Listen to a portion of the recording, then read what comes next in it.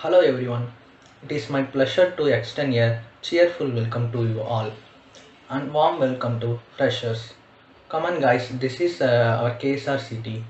I am uh, Nishantan from uh, second year AAS and uh, one of the KSRCT Readers Club and NDL Club member. Dr. Venkadachalam sir and Dr. Tangadure sir are the responsible person uh, for Readers Club and NDL Club of KSRCT. In that guidance, uh, we organize and participate the uh, library activities. I would like to share our daily activities at the Readers Club and the NDL Club uh, and the uses of uh, this activity too. In Library Club, we organize some activities for our knowledge development and skill.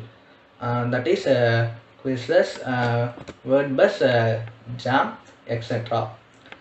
Every day we have an activity in our Readers Club in Telegram group.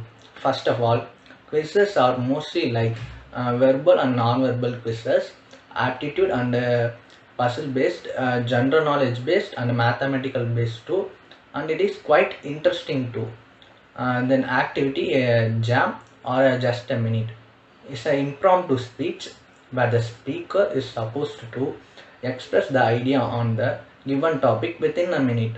It is effective impromptu speaking is a skill that can be learned through the practice and the training. It is not like a debate and may be a different one to all. Next, it is word. You are maybe familiar with this. We organize this activity for finding the missing letter between the words.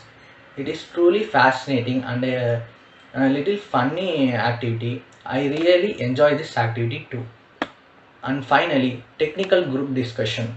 It is a systematic exchange of uh, information, views, and uh, your opinion about a topic, um, problem, issues, uh, etc. These activities are uh, improving your knowledge, quality, and also improve your uh, communication, uh, communication skills, and critical thinking. Fairly decreasing your fears and nervousness with nervousness in communication. It helps you to develop as a skilled one. We give a e-certificate through mail for this activities participants. Uh, You can see the leaderboard uh, for this activity on a library portal. Uh, that that's all about uh, Readers Club and NDL Club activities in online mode. And today my words are uh, enough to express the uh, uh, gratitude. Um, be safe, be va- vaccinated. Uh, thank you. Thank you all.